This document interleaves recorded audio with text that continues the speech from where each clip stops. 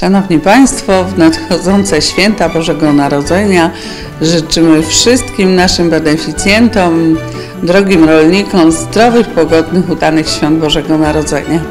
W związku ze zbliżającym się Nowym Rokiem chcielibyśmy podsumować rok 2023, no, który był rokiem bardzo wytężonej pracy. Mieliśmy dla Państwa bardzo szeroką ofertę. Myślę, że wszystkie działania udało nam się zrealizować sprawnie. E, Te, które jeszcze są w toku, też mam nadzieję zrealizujemy tak, że Państwo będą z nas zadowoleni.